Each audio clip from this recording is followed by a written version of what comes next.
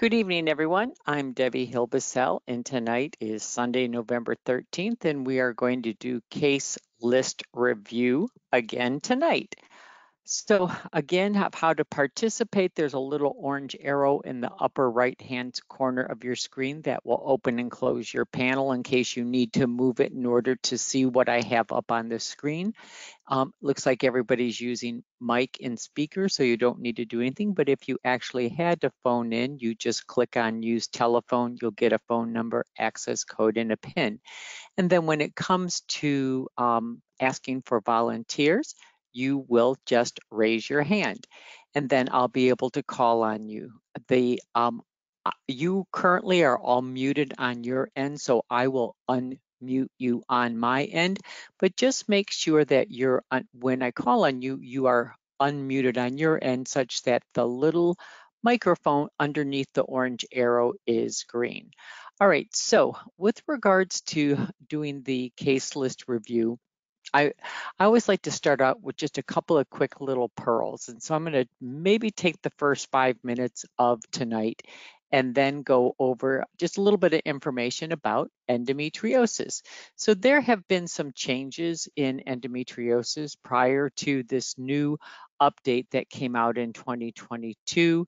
Um, the treatment was a little bit, eh, not so much the treatment was different, but the recommendations were different. And we really considered, you know, the gold standard of how to diagnose endometriosis be the laparoscopy, et cetera. But let's just take a quick look at some endometriosis information. So it's a chronic condition that has a plethora of presentations, not only in the way that lesions look, but most also very importantly in different signs and symptoms. The most important symptoms of endometriosis include pain and infertility. And when we think of endometriosis as a disease, think of it in terms of it's kind of subdivided into type and location such that you've got the peritoneal lesions, and those would be the very superficial ones. You have the deep infiltrating endometriosis, and then you have endometriomas.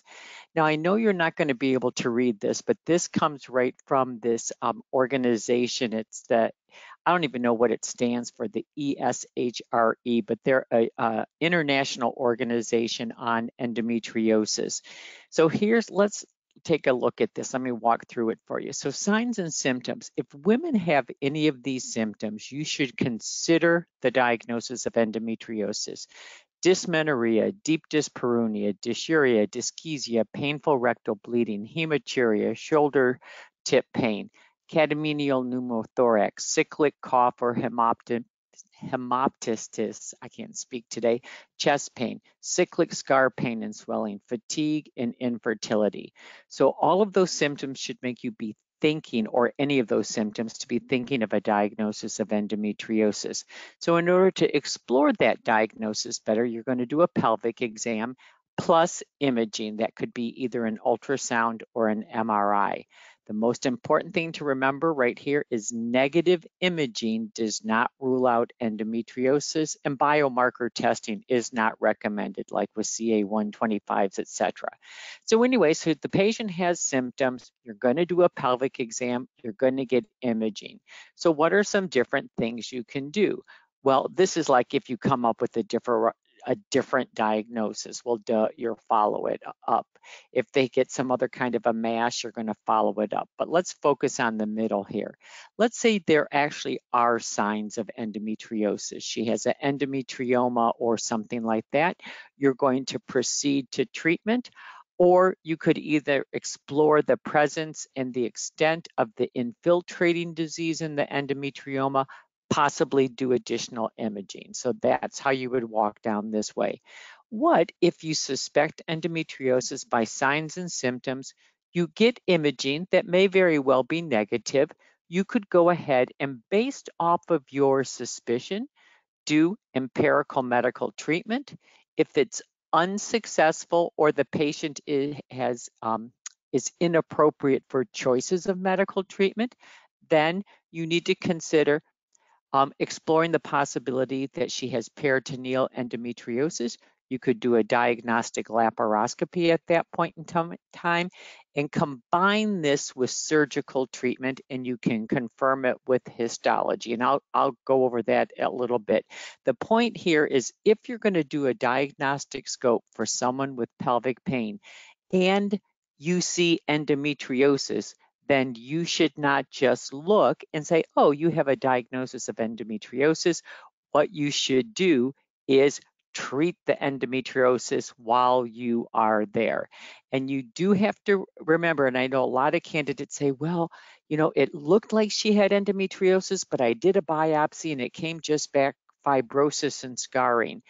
Um, Negative histology does not rule out endometriosis. And if you clinically see endometriosis, even though your biopsy didn't prove it, you can call, you can make the diagnosis of endometriosis.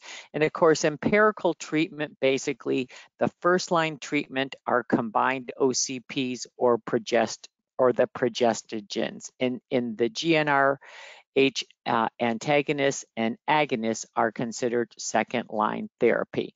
So basically, um, this kind of just goes through what I already talked about. So if any of you go come back later and look or listen to any of these webinars, that remember a negative finding on ultrasound or MRI does not exclude endometriosis, especially the superficial peritoneal kind. And so then if you have negative imaging, um, results or where empiric treatment was unsuccessful or inappropriate, you can do laparoscopy. And well, I already covered all that. Okay, so does diagnostic laparoscopy compared to empirical medical management result in better symptom management in patients of endometriosis. So basically, if you suspect endometriosis and you just go ahead and treat her, if you had done a diagnostic scope first, would she be better off? And there's no evidence of superiority of either approach.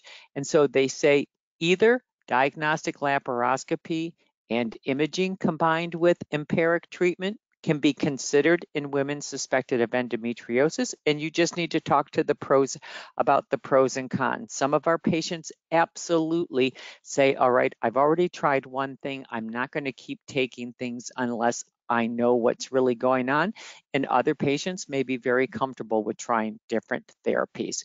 What about pain? How are we going to treat the pain of endometriosis? So you, NSAIDs are always going to be offered as first line. They can be taken alone or in combination with other treatments. You can do hormone treatments. And again, we've talked about OCPs and progestogens are first line. Second line are the GNA, GnRH agonists, antagonists. And actually for totally refractory disease, they're actually giving aromatase inhibitors. That, that's basically a third line treatment. So really of the any of these threes are considered acceptable. We do know when you go in and do surgery and obliterate disease, that helps pain. But if you do that, you should consider giving her post-op hormone treatment unless the goal is immediately to attempt conception. All right, so we see. I'm trying to think if there's anything that I didn't cover here.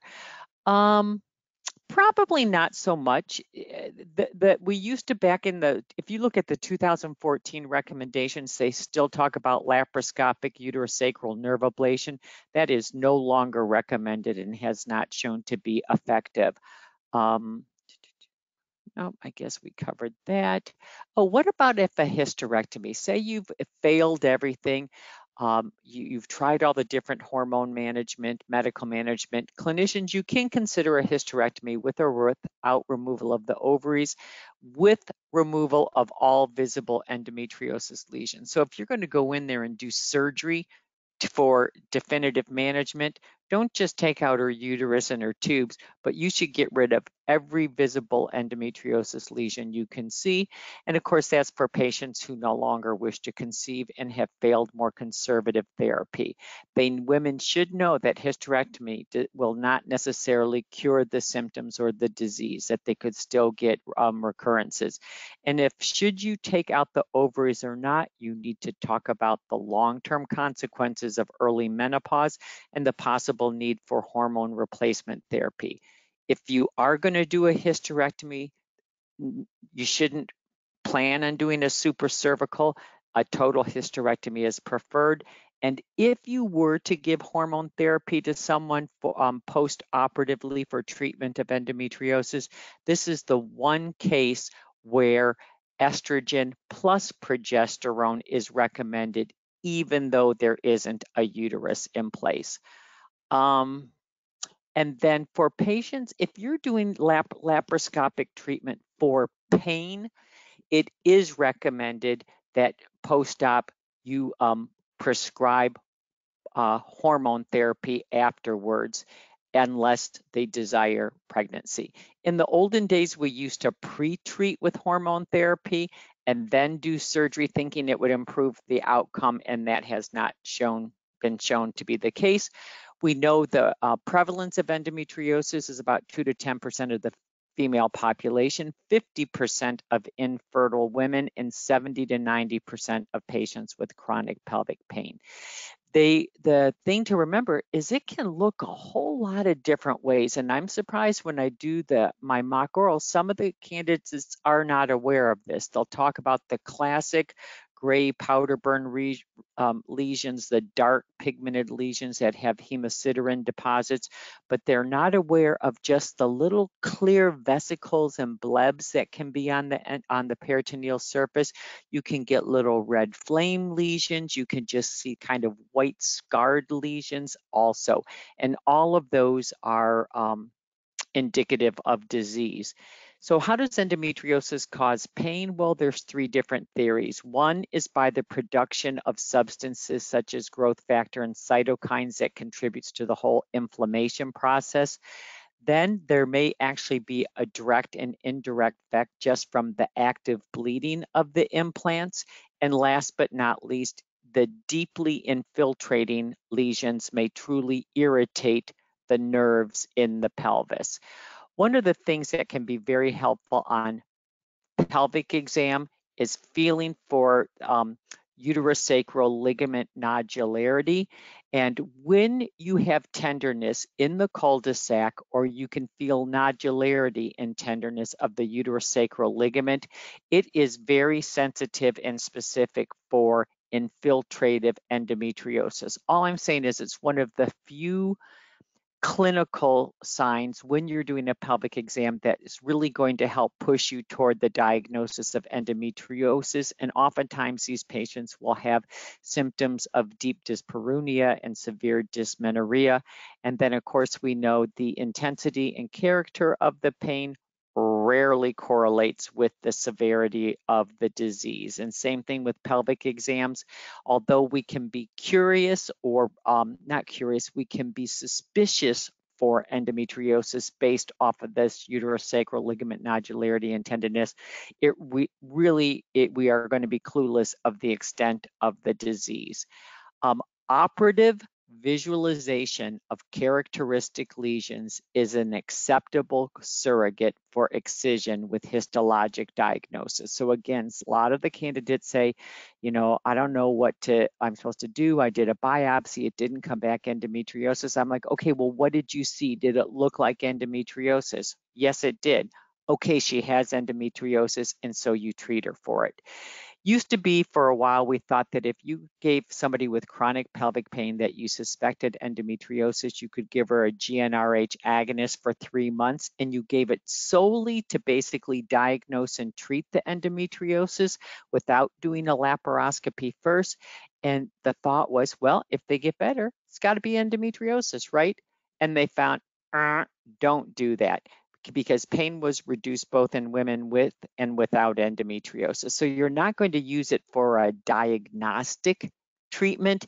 You could use it for therapeutic if that's what you want, but don't look at response to a GnRH agonist as proof that somebody has endometriosis. And then, of course, you've got to rule out all the other causes for chronic pelvic pain in patients who have endometriosis, especially those who failed to respond to um, traditional medical therapy. What about treatment of endometriomas? Do not just IND them.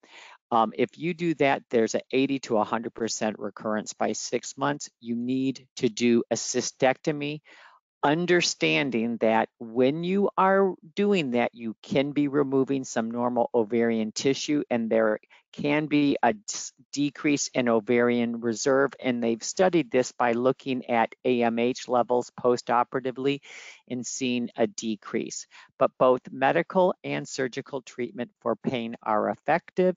If, again, if you do a scope for somebody with pelvic pain, if you see visible endometriosis, treat it um, and surgical treatment followed by medical therapy gives longer symptom relief than surgery alone.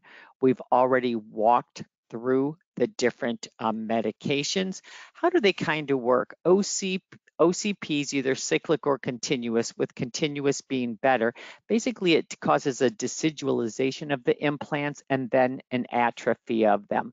Progestins do exactly the same as this, Plus, there's a few other things. One, it may suppress this certain enzyme called matrix metalloproteinase that, that this enzyme increases the growth and implantation of ectopic endometrium. So progestins suppress that and suppress progestins also inhibit angiogenesis.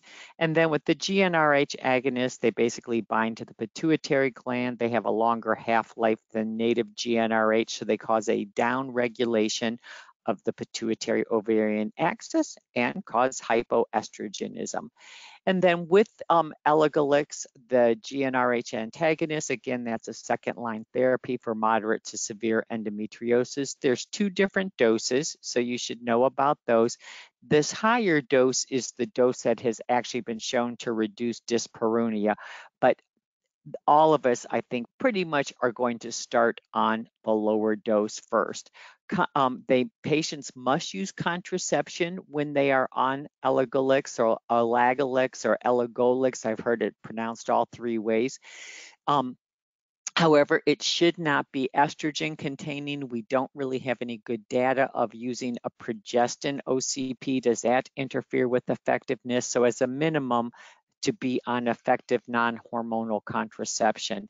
And then contraindications to it, this include uh, already an established diagnosis of osteoporosis, obviously if they're pregnant, severe hepatic disease, and there's if you, they are taking a medication that is or an organic anion transporting polypeptide 1B1 inhibitor. And that's a mouthful. And I had to even look up what they meant by that. So here's what here's here's just an example of some of the different medications. Most of these are nothing that well that that's um, an antibiotic. Uh, but most of these are not. There's another antibiotic that's a rarely used cholesterol lowering agent. But anyway, just know there's a list of medications that are these OATP inhibitors. All right, so that's your endometriosis in, in a nutshell um, today. All right, so what I'd like to do is I'm gonna lower everybody's hand and I'd like to ask anyone who has not gone yet in November, but who would like to, to please let me know. And I'm trying to get out of my PowerPoint. Let me see here. And close this out. And let's start with Angela. Hey, Angela.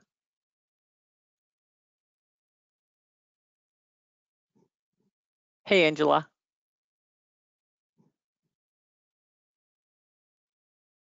Angela, I don't know why I can't hear you.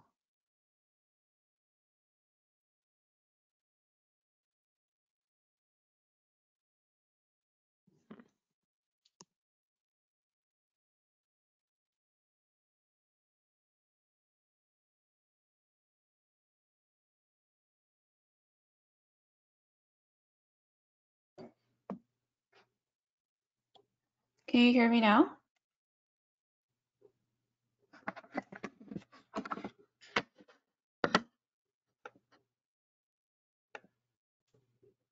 Hello?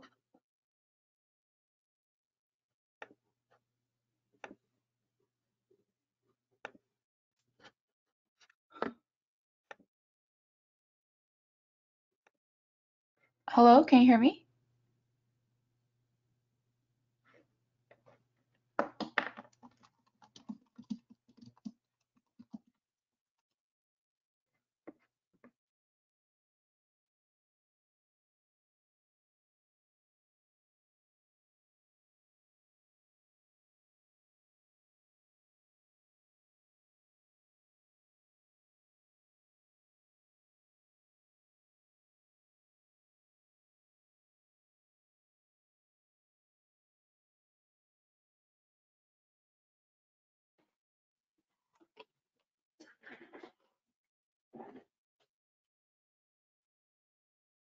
Testing, testing, testing. Testing. Angela, I'm gonna, can you hear me Oh. now? Yes, I can. Can you hear me? Yeah, could you hear any of the lecture I did? Uh, I did. I don't know Okay, what happened good. when I unmuted myself. Okay, because I was like, oh my gosh, don't tell me I was been babbling for 15 minutes and nobody heard one thing I said. No, Oh no, my I God. followed along. It was a good lecture. Okay, okay, good. All right, because I was like, uh, endometriosis has just undergone some changes, and I just wanted to quickly go over with you guys some points. Okay, so are you a generalist or a subspecialist? Uh, I'm a subspecialist. Okay, and what's your subspecialty? Uh, I'm an REI fellow. All right, so do you have a particular case list uh, that you would like to do? No, any of them would be good practice at this point. Okay, let's see here. So i- are your GYN from your residency or did you try to put some of your f- fellowship? s- Maybe you we got enough RE stuff with your fellowship, huh? Yeah, I, I use the fellowship cases. All right.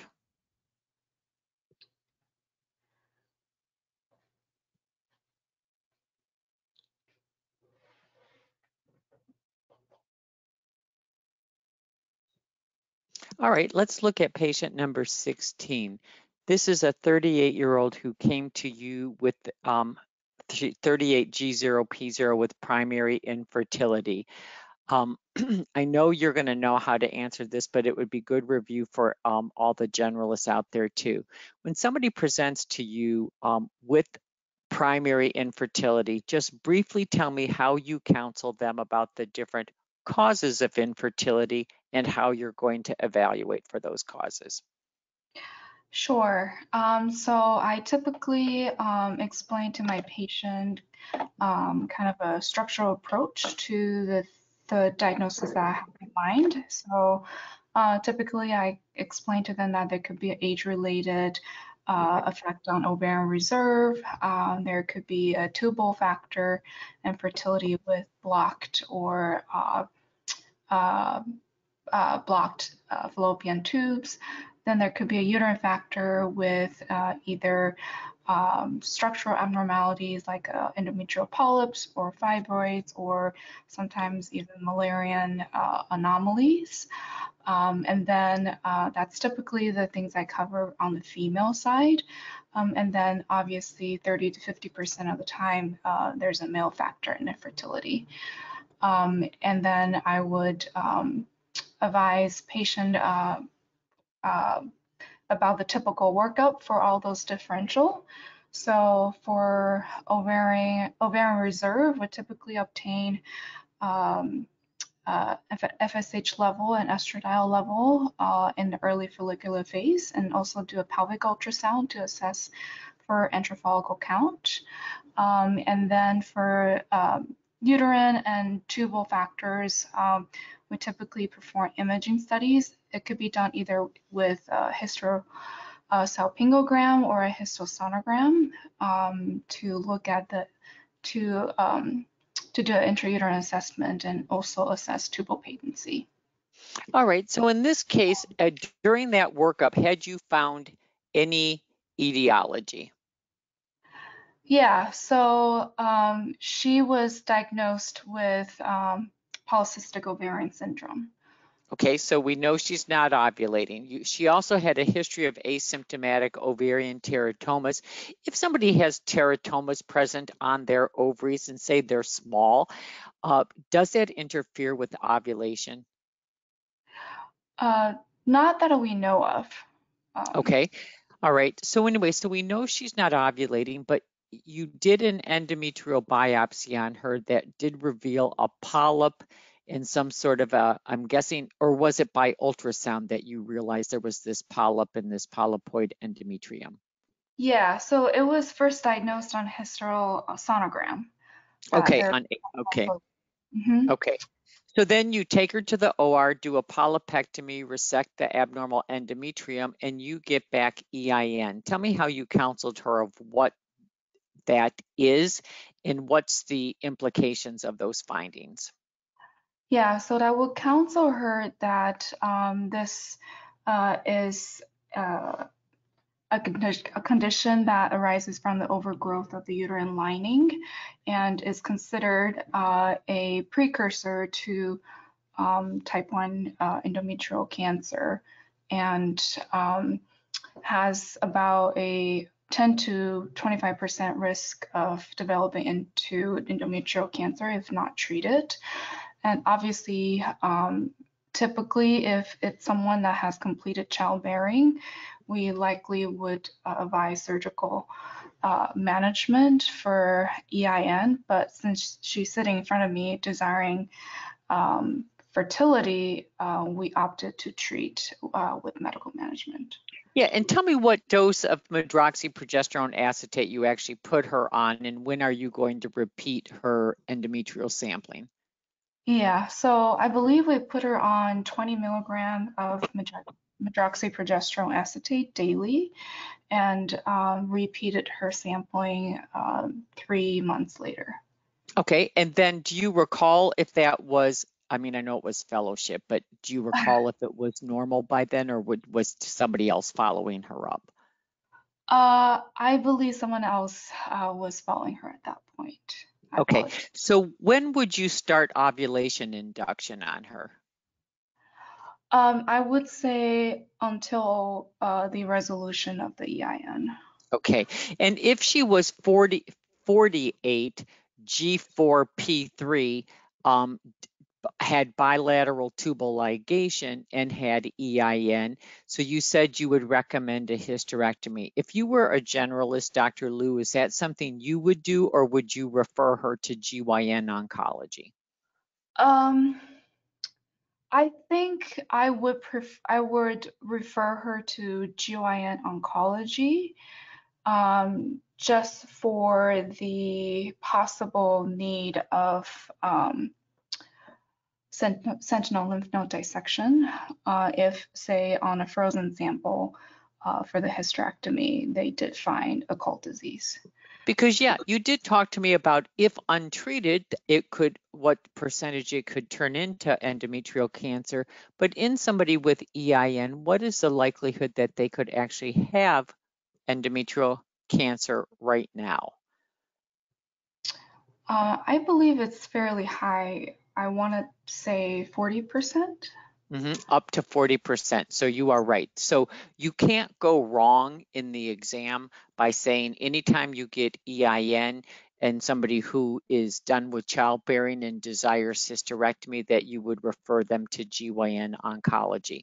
Some of the candidates I do mock orals with say their GYN oncs are so crazy busy, they're like, we don't have time to do the EINs, but but these are people their GYN oncs are in the hospital, available to be called in, you know, should the diagnosis of endometrial cancer be determined at that time. So for the exam, I would say you refer all your EINs to GYN onc and why you do it, because of up to a 40% chance they could actually have endometrial cancer and they will get the proper surgery and staging done with that initial surgery.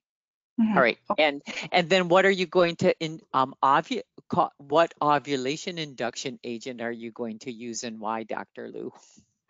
Uh, so for someone with the like her with a diagnosis of PCOS, we typically choose the letrozole, a, an aromatase inhibitor, inhibitor for ovulation induction. It's been shown uh, that in the PCOS population, it's more effective and has higher live birth rate. All right, just for my own knowledge too, because I'm a generalist, are you are you guys as REIs, are you getting away from clomiphene altogether, or do you still use it in like non-PCOS patients? We still use it um, fairly frequently, like say for unexplained infertility. Um, Okay. mhm. But if somebody was not ovulating and it wasn't due to PCOS, would you still do clomiphene first, or would you guys like letrozole better? Uh, I've seen a, a mix. Okay. so Okay. Yeah. All right. I don't think there's a uh, preferred. I don't think letrozole Okay. is preferred. Like Yeah. it's not taking over everything yet. No. Okay. All right. Good.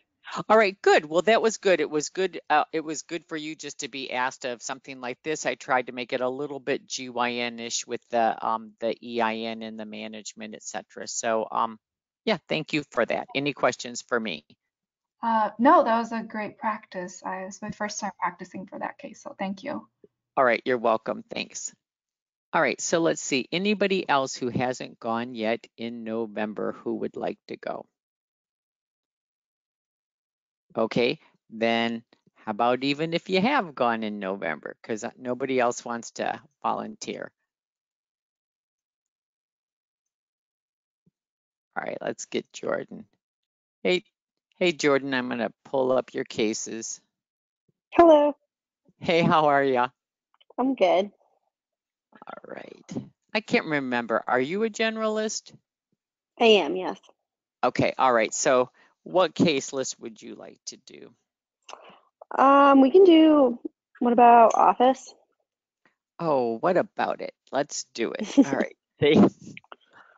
Let's see. I'm going to kind of quick flip toward the back because you know what happens all the time as examiners, we just, in the interest of time, we don't want to spend tons of time scrolling through the list. So we kind of grab some of the first couple of things that catch our eyes in the beginning.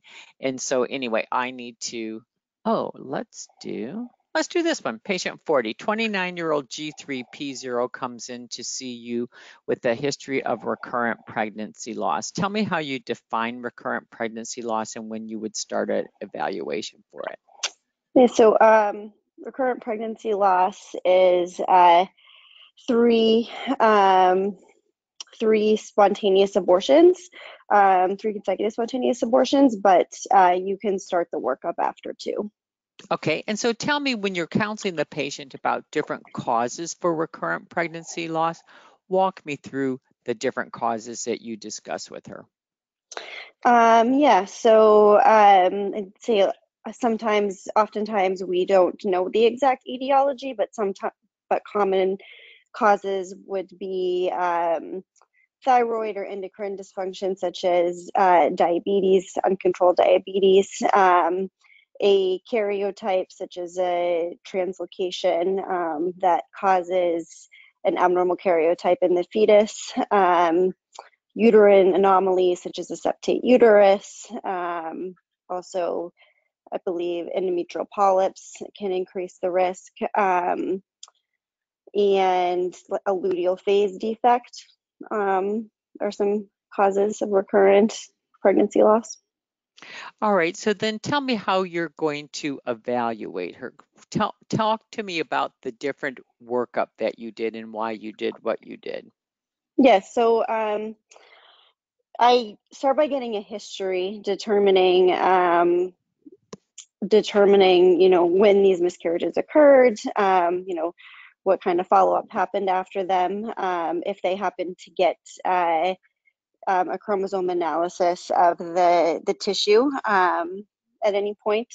Um, I then do a lab evaluation. Um, I start with uh, thyroid and an A1C, um, as well as uh, as well as a karyotype of both partners. Um, and you can also i also do antiphospholipid screening as well. Um, i then do evaluation of the uterine cavity. Um, if i can obtain one i'll do a sonohyst for that.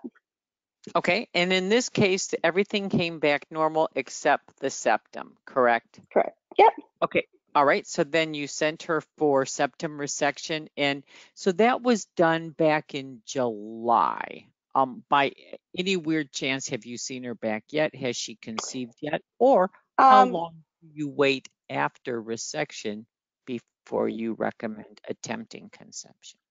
yeah so she actually moved um, so i have not seen her um, Okay. back uh, i don't know exactly how long you would wait after conception um, i would say t- at least 12 months um, but i'd have to look that up You know, I actually don't know the answer to that either. So, um, of what the recommendation is, maybe at the end when we get done doing stuff, maybe Dr. Lou or any of our REIs could tell us what's the recommendation of after you resect a septum, that how long should you wait for optimal healing before the patient attempts conception? Because I think that would be a, a good thing for all of us to know. I've never read anything about that anywhere, Jordan, and that's why I was um, really just asking you that. So good. So you talked about genetic, endocrine, structural. You talked about luteal phase defect, and you know, you know that's one's probably fallen out of disfavor, but we can actually ask our REIs also with that, like if they have absolutely no definition or no etiology at all, do they ever just give progesterone? You know, kind of like unexplained fertility, we'll do Mm-hmm. clomiphene plus IUI. So we'll ask them if about that, would they just do that? The other thing I always try to think about is so genetic, endocrine, immune, you know, with the antiphospholipid, structural, with everything you talked about. I always try to put another category called environmental, and that would be if the patient's like obese or a smoker. Just something else to think about since we know those two factors also increase the risk of spontaneous loss. Great. But all right, perfect. All right. Um, any questions for me? Uh, no, that's it. Thank you. Uh-huh, thanks. Let's get Lauren next.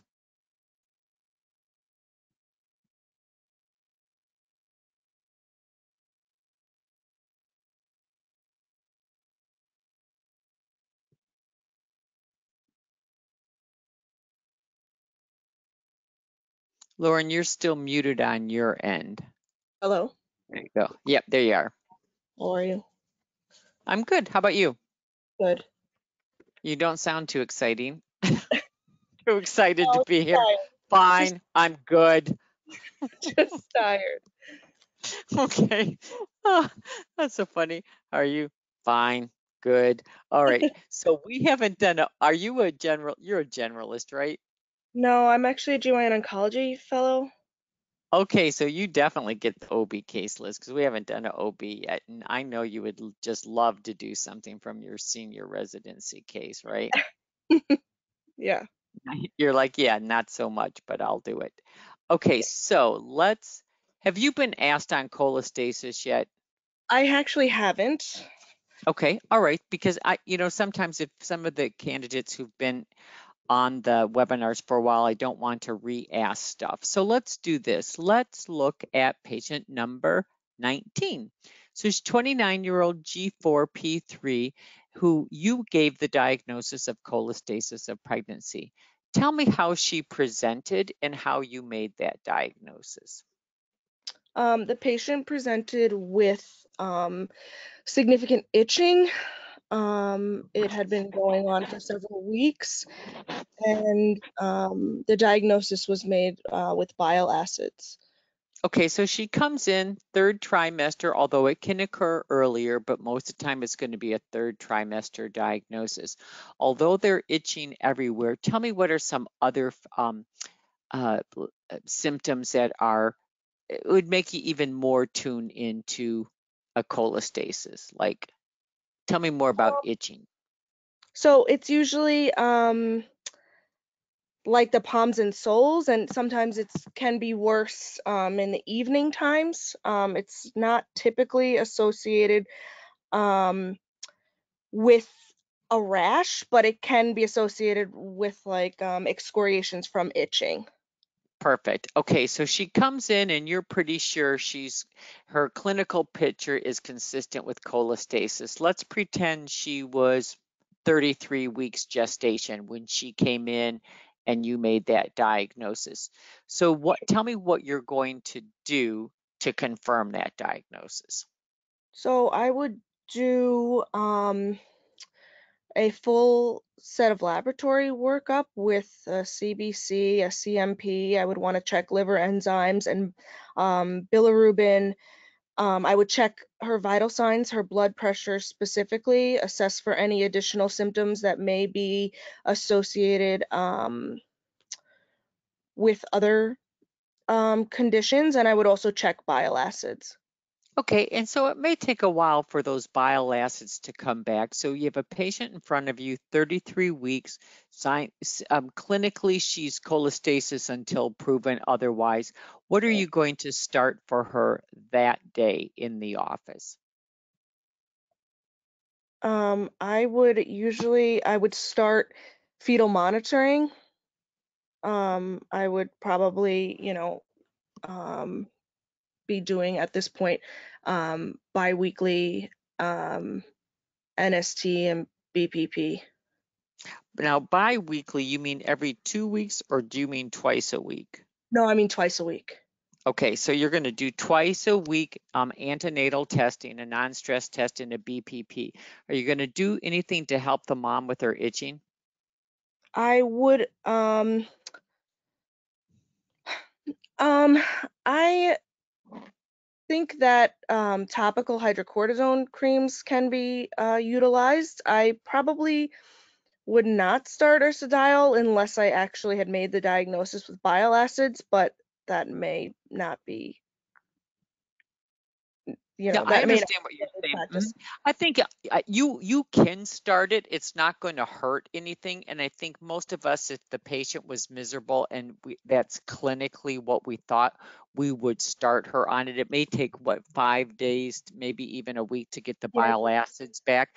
What's the worst that happens? You would discontinue it. But what Oh. bile acid level does it need to be for you to be able to make that diagnosis? Um, I think in the lab that we were using at the time, it was greater than 10. Okay, perfect. All right. So then you're going to what what were you going to say? Oh, no, nothing. Okay, so we know the mom has too high of bile acids. That's what's getting in her skin. It's causing her to itch. It's all due to the estrogen, the high estrogen levels in pregnancy that you get, that the liver uh, does not properly. It's not clear in clearing and excreting and getting rid of the bile acid. So it's building up in her and causing itching. But why does it affect the fetus? Why are we going to start doing twice a week testing? The bile acids cross the placenta and they build up in fetal tissues and in the amniotic fluid, which can lead to spontaneous fetal demise. Okay, and so um, if this patient, say, had a bile acid level at 33 weeks of 15, when are you Mhm. going to repeat it, or are you? I probably would repeat it every two weeks if she's on treatment, um, just because if it's rapidly increasing or if it goes above 100, then that would change my delivery plan. Excellent. Okay, and yep, and then pretty much we like them all delivered by 37 weeks. There is some thought that if the bile acids are above 10 and less than 40 and every all the testing looks fine, you might be able to go closer to 38 weeks. Whereas if it's greater than 100, you're going to be more like 36 weeks. And if it's somewhere in between, but right in that general vicinity, always feel free, Lauren, to say, you know, that um, if it was something odd, like the level was really high, that you would consult the, your MFM and, and go to, to their recommendations. But you are right, 100, greater than 100 is uh, much more severe and we're going to get delivered earlier. And then what about recurrence? I mean, this patient's already had a couple of children. It's not unusual for patients to have had a history of cholestasis in a previous pregnancy. Do you have any idea what's the likelihood of recurrence in a subsequent pregnancy? I believe it's almost, uh, I believe it's very, very high. I would say upwards of 80 per 60 to 80%. That's exactly what I've read. I've read anywhere from 50 to 60% and seen even higher up to 80%. Can you think of in a non pregnant patient? So let's say she's a year or so from now. Can you think of any medication that you would prescribe to her that could possibly give her a similar type picture with uh, itching without a rash? Itching without a rash. Um, Yeah, that would that would give her a cholestasis-like picture. Just it wouldn't be cholestasis of pregnancy. This is the um, bonus, this is the bonus question.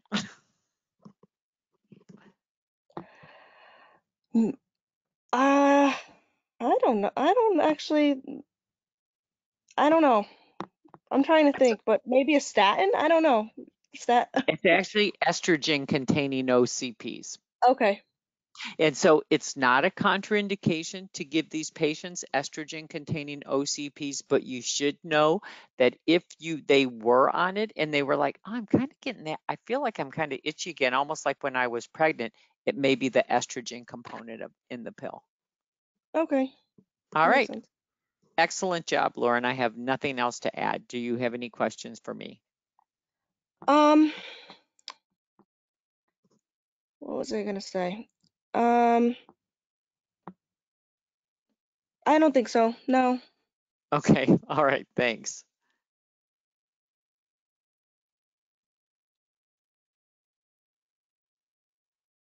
Right. So then let's see here. Let me get trying to make sure I'm getting everybody here. We got Lauren. I talk to myself a lot. Just bear with me. Let's get Rita here. And then I'll get Sim Simisola next. Hey, Rita. Hi, good evening, doctor. How are you doing? Fine, thank you. All right, Where to go? let's see here. Do you have a particular case or case list you'd like to go over? Mm, no, well, any any case on in my list at this point, yes. Okay, dokie. Let's see. Let's do it. Let's check on Office here because everybody hates Office. Yeah. Oh, let's see here.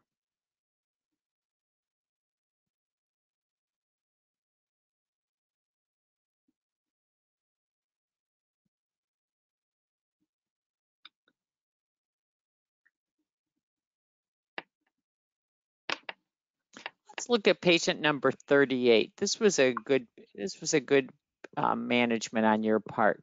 So a 42 year old comes in to see you and is complaining of leakage. Walk me through your differential diagnosis. Uh, when a uh, when a patient has uh, urinary leakage, I have to rule out. Uh, my differential would be urinary tract infection. Um, can be mixed urinary incontinence, stress urinary incontinence, or um, uh, neuro, neurogenic bladder. Um, uh,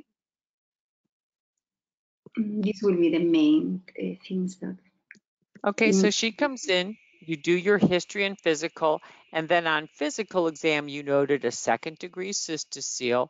You did Uh, a UA with urine culture that did reveal a UTI. And just even a UTI can increase urgency, frequency, and urge incontinence, right? yes. Okay, so then, but you still continued with an additional incontinence evaluation. Tell me how you made the diagnosis of stress incontinence. So during the physical, uh, besides the uri- urinalysis, I did um, cough stress test. I did also, I evaluate for uh, u- u- u- urethra hypermobility, uh, also um, bladder, um,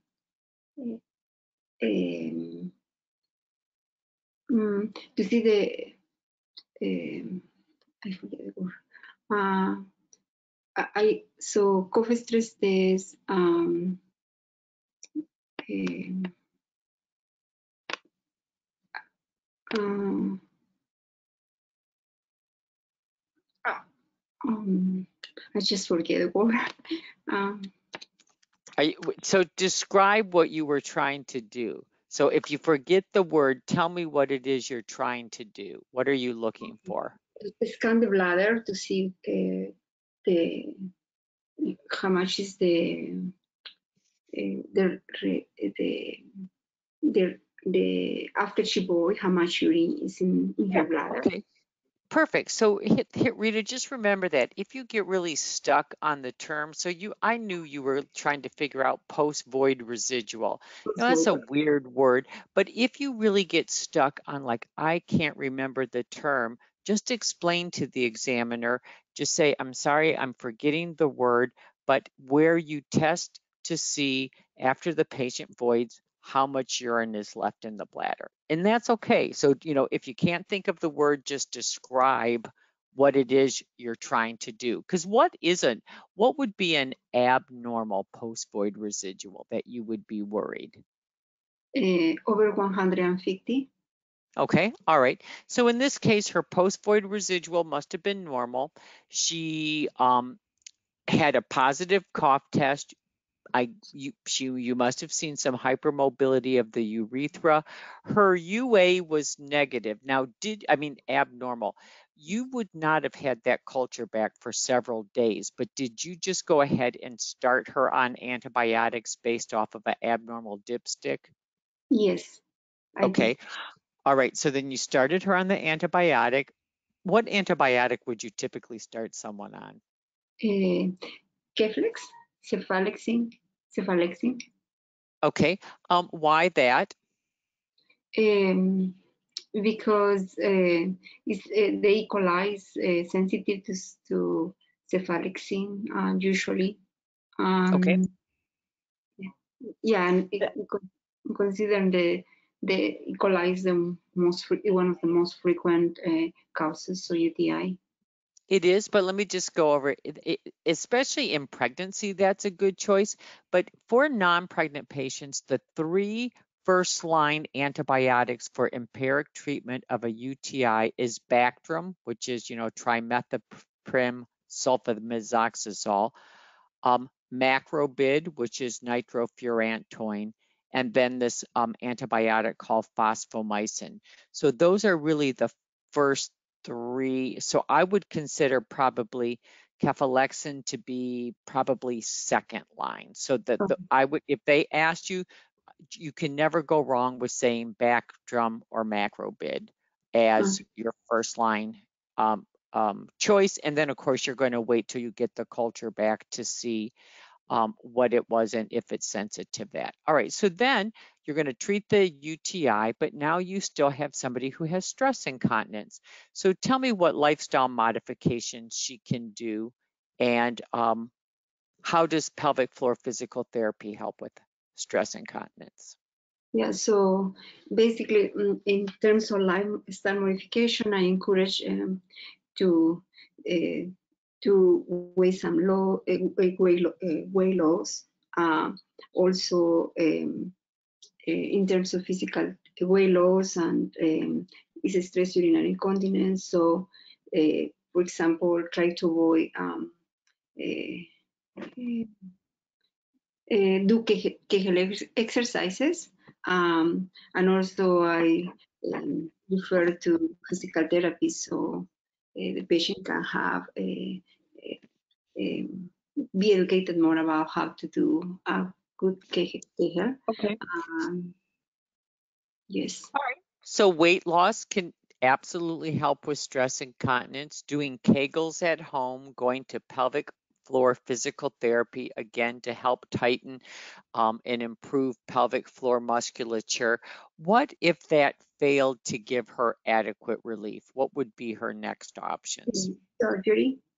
Uh, well, it doesn't work and uh, um, uh, the patient is, is very stressed uh, out about the issue, and the other option also will be I will try pessary, but uh, otherwise, um, if uh, the patient doesn't want, she can go into surgery. Have Yeah, perfect. She could use an incontinence dish pessary, which is one of those ring pessaries with a little knob. She could do that, and you could teach her how to put it in, take it out, etc. Or she could be referred for surgery. Because do you do your own mid urethral slings? No, I usually I, don't do it by myself. I usually refer them or occasionally. me too. I'm a generalist. I don't do mid urethral slings either. So that's where you would say, um, if if she did all these, the, uh, uh, everything you just discussed, and that failed to give her adequate relief, you could discuss with her an incontinence dish pessary, which you could fit her for, teach her how to use, etc. Or you would refer her to urology or urogyn for evaluation of a mid urethral sling. Perfect. All right. All right, good. Um, any questions for me? No, thank you. Uh-huh. All right, let's get Simisola next. And let me get, Hello, good evening. hey, how are ya? I'm well, thanks. How are Good. you? I don't remember, are you generalist or are you a subspecialist? I'm a generalist. Okay, so what you, dealer's choice, you'll probably, you'll be the last one I'll call on tonight. So what case list do, would you like to do? I guess I haven't done any office. Okay, it's gonna be an office night. All right, so let me kind of go toward the back and work toward the front. You poor mm. thing, are you sick? A little bit, yes. You know, you just sound nasally and stuffy, and that was kind of a yucky cough I just heard. Oh, It's the season. it is the season, isn't it? What is it? What do they call it? The triple demic right now with RSV, flu, and Uh-huh. COVID. hmm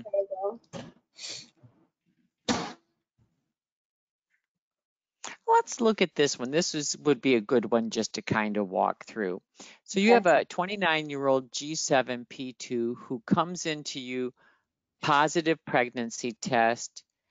She's had a history of an ectopic and had a left salpingectomy. So she comes in positive pregnancy test. You do a beta HCG that's 957. So at this point in time, you have a pregnancy of an unknown location. So walk me through how you're going to try to figure out where the pregnancy is. Let's do that. How are we going to figure out where the pregnancy is? So tell me how and how you're going to counsel the patient about why you need to follow her up in such in the way that you're going to. Sure. Um, so the biggest thing that we I would want to rule out or be at high suspicion for is an ectopic pregnancy. So I usually talk to patients who come in with like either just like some pelvic pain or spotting, bleeding that this could be just early normal that we're not seeing anything um, in the uterus right now on the ultrasound. Um, however, there is a risk that the pregnancy could be outside of the uterus, and then we talk about the risk for um, rupture and mortality with that. And that's the main reason why they need to follow up so so frequently. Um, and it could also be like an SAB, right? That they just didn't have a confirmed IUP prior. So um, with these patients, I expect that if it's a normal pregnancy in um, 48 hours, there is an expected increase in the serum beta HCG. So that's usually where we start, as long as the patient is stable. And how Uh, much would you, excuse me, how much would you like to see it increase? Yes, uh, about 50%, 51. Okay, all right. So now let's take a look at what her stuff did. Hers was a little strange. I basically plateaued from the beginning. Was a highly desired pregnancy, and she was hemodynamically stable. Um, So then once you got, you got from 957 to almost 1200 to about 1200 at day five. So you could tell her this is not a normal pregnancy, but at this point in time, you still didn't know where it was. yes. Okay, all right, so, um, and she's still stable. Um, so tell me what you, in- ultrasound shows no IUP, no adnexal mass. So with this information here, tell me how you counseled her for options for management. Um, so I counseled her that it's definitely an abnormal pregnancy. Um, the ultrasound does not show a clear ectopic, but does not mean that there isn't one. And um, the my recommendation is to treat for a suspected ectopic because the risks of an undiagnosed ectopic um, getting ruptured would be pretty disastrous. Um, Okay, go ahead. and then we talk about um, I don't usually really bring up expected management for an ectopic because it's just too risky, especially with her beta. Um, so we talked about the uh, medical management. Um, and I also mentioned that surgical management usually is more effective if I if I see it on ultrasound. If there's nothing seen in ultrasound, there's uh, un unlikely to see anything um, intra-op. But we could also do a D&C to check for if this was really just an abnormal IUP. Yeah, and so then that, because that was my question there, since you still don't know where it is before you would give the patient a chemotherapeutic agent, how do Mm-hmm. you come to grips with that? Like, should I just do a D&C and see if we get chorionic villi and then maybe the beta HCG plummets and I don't even have to give her methotrexate? Yeah. I mean, how, yeah, I mean, it's it's It- tough. It is, and it's usually um, I make it really patient centered, um, give them all the information and explain, you know, if we do this, and this is what happens. So if we um, go th- the D&C route, which is a good recommendation to avoid medication that you don't necessarily need, um, if we get products, then we're in the clear. If we do not, then we Maybe, maybe if it's not a heterotopic, right? But go ahead. that's true. Um, most of my patients actually tend to go with um, getting the medication because um, they don't want to go through getting an anesthesia and going through surgery. Okay, and so then, um, if she asked you, well, what if this was just abnormal pregnancy in my uterus? Is the methotrexate going to take care of that too, or just the ectopic? How would you explain that to her? So the methotrexate, I um, I explained that the way it works is that it pretty much um, disrupts any um, fast growing cells, which would include pregnancy in any location. Um, if it was an abnormal pregnancy that is already like a miss, then that could actually, I usually say that the body tends to um, resorb, um, resorb the tissue. So she would have some bleeding eventually. Um, So, what are contraindications to methotrexate? contraindications to methotrexate, pregnant, oh, sorry. um, well, yeah, an IUP, breastfeeding, um, any active liv- uh, liver disease, um, um, active peptic ulcer disease, um, blood dyscrasia, so significant thrombocytopenia or um, leukopenia. Patients who cannot follow up, because that's really important. Um, hemodynamic instability, ruptured ectopic. Those are the Okay. absolute indications. All right, so now let's say, because you said this, so now you give her methotrexate, you're going to ch- recheck her beta HCGs on days four and seven, and tell me about how much of a drop you want. Um, so I expect if for um, efficacy that um, between day four and day seven, there is a, at least a 15% decline in the HCG level. If there isn't, then um, I usually will counsel the patient on either an additional dose or we um, choose a different route of management.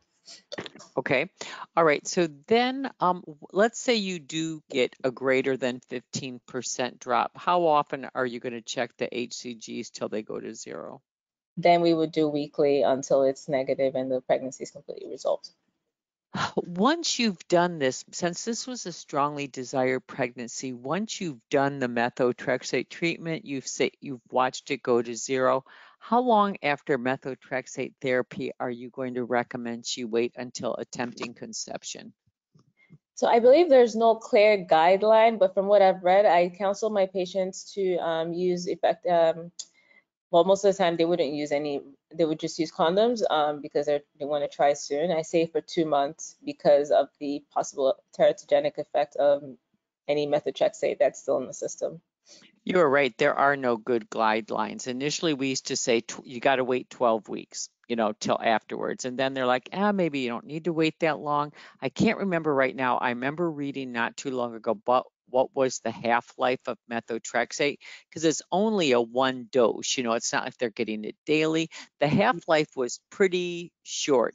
And there were some places said, you know, you probably after 30 days, but in the you know, who wants to take that tiny risk? You know what I mean? But my, Correct. they said even after 30 days, it is probably fine. It should be well out of their system. But I think to err on the side of conservancy, and I like the way that you said that, you know, I don't really, you know, I don't know that there's any good data on this. And so, um, but that's maybe what they that what they could ask you and you could say i typically wait they use recommend they use barrier contraception for two months. I mean there's nothing wrong with that. So good. All right good. That was a good one. Just those pregnancy of unknown locations. Those are the tough ones. Any Okay. questions for me? Um, the part about um, the D&C, was that sufficient? I mean, that is really what happens with my patients. Yeah, no, it, it is fine because you just say, hey, look, we could do a D&C. And if we get back chorionic villi, I'm still going to follow an HCG because you still got to prove it's not a heterotopic, right? But Yeah. and if, if if the HCG goes to zero, then we're done, and you didn't have to take a medications. On the other hand, if I get no tissue, then we're going to have to turn around and do methotrexate anyway. Okay. I mean, Thank you. because that's basically what it is, is so it's really sitting down and talking with the patients and doing shared decision making. And you are right, the longer we put off the treatment, the longer the increased risk that an ectopic, you know, it could rupture. Yeah. All right, good, thanks. Thank you. hmm So I'm going to lower everybody's hand and then I'm going to see if one of our REIs wants to answer and say, okay, so I want to know luteal phase defect. It do do you even consider that anymore? Let me get Dr. Lou. And then how long should we, hey, Dr. Lou, and then how long should we wait after we resect a septum before they can conceive? Um, so after septum resection, typically we put in like an intrauterine balloon uh, for like five days and then put them on estrogen, PO estrogen, you- just to help Mhm. regenerate the lining. And then the following cycle, we would do a hysterosonogram just to make sure that um, the septum is um, sufficiently treated, resected, and then they should, uh, then we start them on treatment. um, Okay, so so so basically it's all it's at least six weeks, maybe almost eight weeks by the time they've had Yeah. the cycle that they're in with the balloon in the oral estrogen. The following month they get their HSG, and then the month after that they can conceive. Okay, good. So tell us tell us about the recurrent pregnancy loss in the um, luteal phase defect. I I haven't used. Yeah, go ahead. Yeah, I mean, it is something that we kind of tell them as an intervention that doesn't necessarily have a late, a lot of data behind, but we could do uh, once they get pregnant. Um, we, you know, not just trend the HCG, we also trend the progesterone and then treat uh, if it's low. Okay, with and what do and what would you like if somebody's pregnant? What do you want? The, when would you consider adding in supplemental progesterone? What serum progesterone level? Yeah, um, and like and among the faculty I work with in my program, I've seen various treatment threshold. I've seen like 10, 15, some people even go up to 20.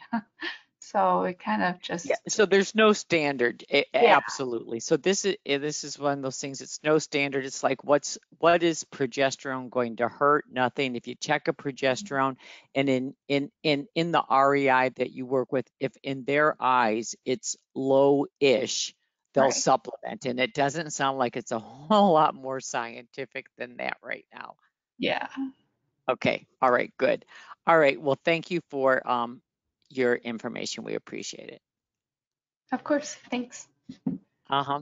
All right, guys, that is it for tonight. So anyway, uh, have a good weekend. Oh, wait, Janelle's got a question. Janelle, are you there? Hi, yeah, I'm I'm here. Did Um, you have a question? Yeah, I was just wondering. I've actually never placed a pessary for incontinence. I've I've done it for pelvic organ prolapse, but I was just wondering if like the fitting is the same or is there any difference with how you It's- fit pessaries? It's 100% the same. All it is, it just has a little knob on it, so it gives a little bit of extra upward pressure where the urethra is. So you truly fit it the same way. You kind of put your fingers in, try to check to see like what diameter. Put you you could just fit her with any type of a ring pessary, and then when you ordered it, you would order that same size but with the little knob. And the knob should be upwards underneath the urethra. Okay, great. Thank you. Uh-huh, thanks.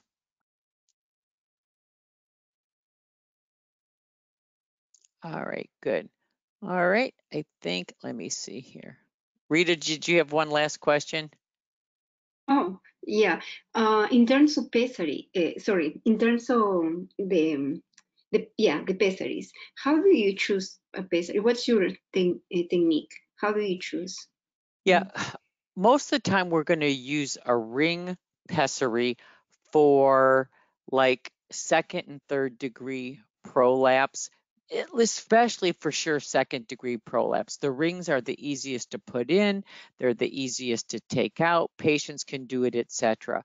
Somebody who has complete procidentia and is not sexually active, that would be a patient who the Gellhorn um, is probably going to be the only thing that's going to really hold it up and in place. Now, I do, uh, there's other pessaries that I've done, um, but I think for the exam, if you just know a ring pessary, you know an incontinence dish pessary, and a Gellhorn, and that's primarily used for complete procidentia. And in you really can't have intercourse with that in place. I I think that would be plenty to know. Okay, thank you so much. Uh-huh. All right, I'm gonna call it tonight because it's already almost 9:45. All right, guys, so um happy Sunday.